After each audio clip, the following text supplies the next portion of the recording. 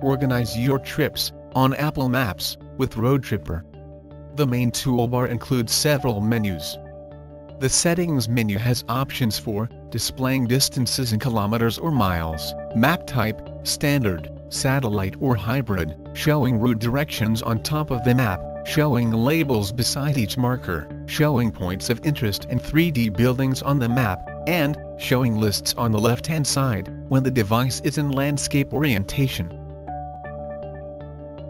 The Plus menu has two options, Add Place from the current location, and Add Place from contacts.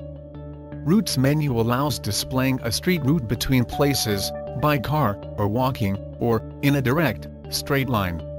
The next two options allow to show or hide routes, and to enable the GPS mode. Lastly, the actual movement can be tracked using the onboard radio hardware and the tracks log can be accessed. You may print, or email, the list of places and the map, you may share an editable copy of the trip with others or yourself, for backup, the list of places can be exported in three standard formats and included as attachments to an email. Lastly the trip can be duplicated.